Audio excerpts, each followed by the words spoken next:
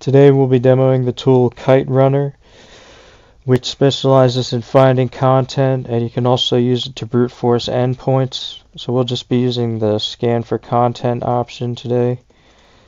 Let's do Kiterunner dash H. Alright, and well here's the scan option. Dash H. Then we'll be using dash A to add a word list. And we'll be using dash X to determine how many connections we can scan from. And let's say you put like 10 here. That would be faster than running the default, which is 3. And you could think of this as if you're opening, similar to opening like three tabs, for example, if it was default 3, and then scanning from each tab. If you did 10, it'd be like scanning from 10 tabs, and that's each of those is a connection. So using that analogy, um, I'll continue and we'll do kiterunner scan our target, which is my website hackguru.tech. Then we do dash A equals, um, well before we continue I got to show you the other function which is kiterunner word list list okay and let's scroll up so I can show you which um, list we'll be using. I'm going to show you the largest list here. I believe it's the largest. It's the largest word list and it's best DNS word list.txt. These are all the word lists that come with it by default, which is amazing. So you can experiment with different word lists is what I recommend.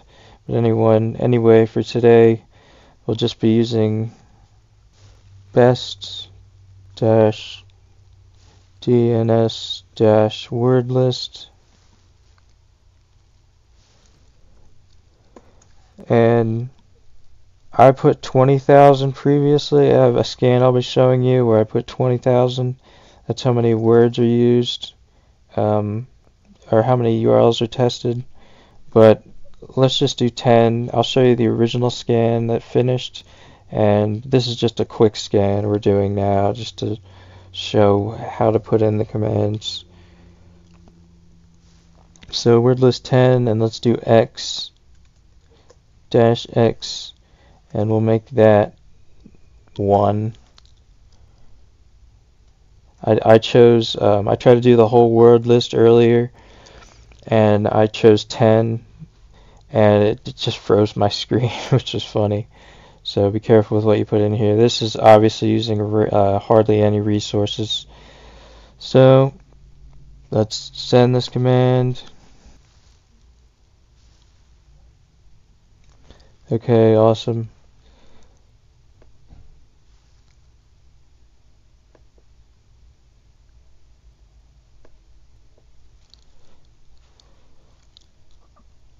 Obviously these are all the this is the configured scan information. And it ran really quickly had zero results. And now I'll show you what a previously finished scan looks like. Alright this is our other tab uh, where we ran um, the scan we did here we ran 20,000 URLs with Word and we had three open connections and this took about an hour and a half to finish just to give you an example of how much time these can take if you really want results. And the only thing my uh, scan found which is good news so my website the only thing it found was a www.sql um, copy address and also at first I was a little worried you know when I saw that but I, upon checking my browser we see that an error was generated by ModSecurity. So that means my site's secure. Go test your own and secure your own, guys. Um, so that was all for today. We showed uh, basics of a scan with Kiterunner. And please like, comment, and subscribe. Um, also, I recommend checking out the GitHub for Kiterunner, which is github.com slash assetnote slash kiterunner. And there's a lot more information here for more involved scans.